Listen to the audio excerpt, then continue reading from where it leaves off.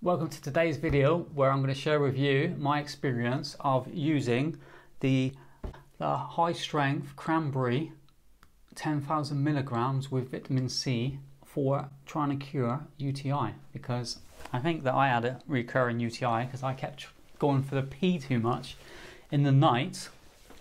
And uh, my girlfriend suggested that you probably got a UTI which I've had before and I had antibiotics so I kind of know the feeling of um, that constant wanting to urinate.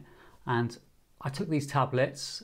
I did them two at a time rather than the single one a day.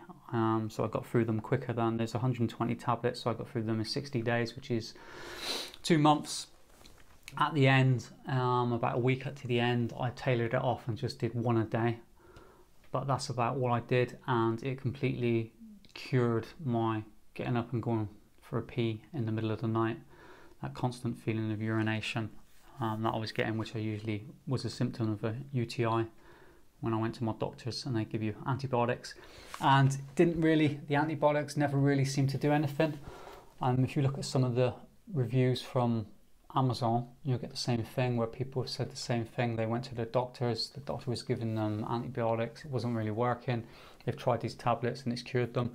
There's female and there's male reviews. I've crossed out their names so you don't see them just because I'm reusing, reposting their their um, their reviews. But if you go on and you search for the cranberry tablets, you'll be able to read the reviews yourself and you'll be able to see that it's pretty much everybody's saying the same thing that these work.